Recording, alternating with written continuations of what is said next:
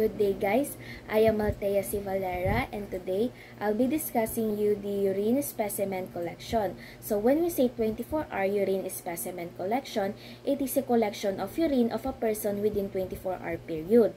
And then the purpose of this is to identify any various substances in the urine in a one particular period.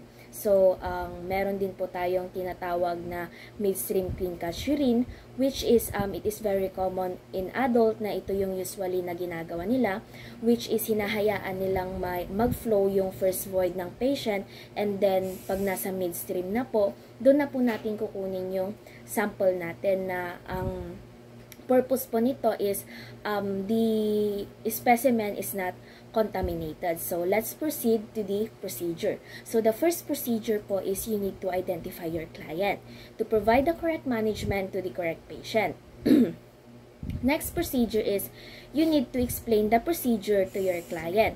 Ang rationale naman po nito is to foster cooperation and understanding and to prevent anxiety and stress po.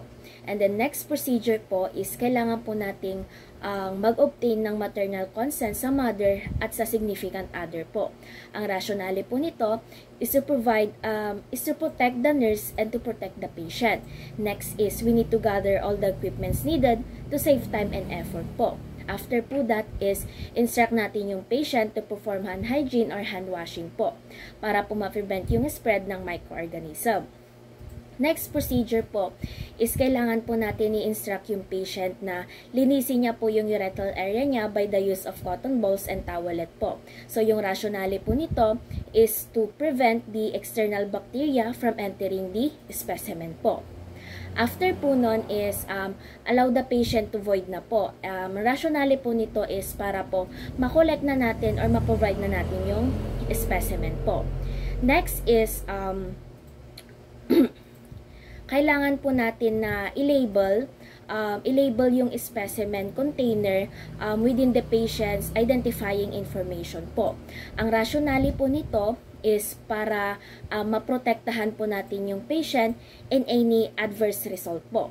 Next is we need to um, kailangan po nating i-fill up yung laboratory form and then send it immediately sa laboratory po.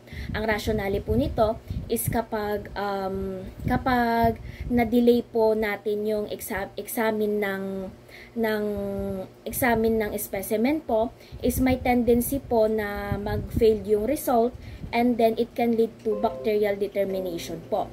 And then after po niyan is inote po natin na yung specimen specimen is collected for the continuity of care And then, kailangan po natin hugasan ng ating kamay. And then, yung patient din po to prevent the spread of microorganism. And then, the last one po is kailangan po natin i-report if, if there are any underlying parang, kumbaga, um, if there are any diseases, ganun po, or kung may nararamdaman po tayo during urinating and kapag nung kinukolekta po yung urine specimen because um, pain in urination indicates urinary tract infection and then um, it can uh, it can also parang mabibigyan din po tayo ng management and treatment. So yun lang po. Thank you.